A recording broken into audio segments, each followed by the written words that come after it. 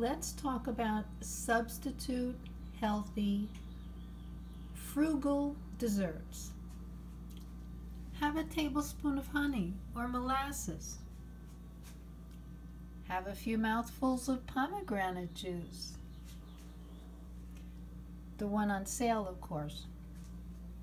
Now, the other day I was in Big Lots and I was looking for oats. I couldn't find the one I want, but I saw these.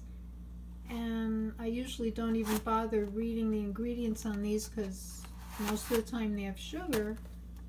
But this one, this one has brown rice syrup instead of sugar.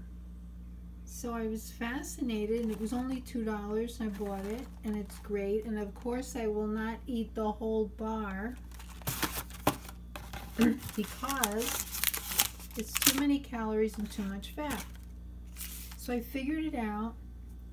I did the math and I found out that there's about 10 calories from fat in one fifth of the bar.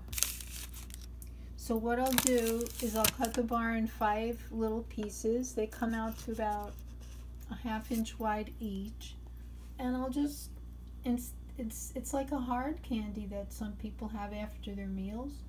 And I'll just put one of those tiny slices in my mouth and keep it in my mouth a few minutes. And that's my dessert. And it's very nice. And it's cheap. And it's healthy. And you'd be surprised how quickly we get used to having smaller quantities of very highly concentrated high calorie foods and we get used to it. And in the beginning we don't like it. We then we get used to it used to it. Then we like it very much. And then it becomes a nice new healthy habit. Try it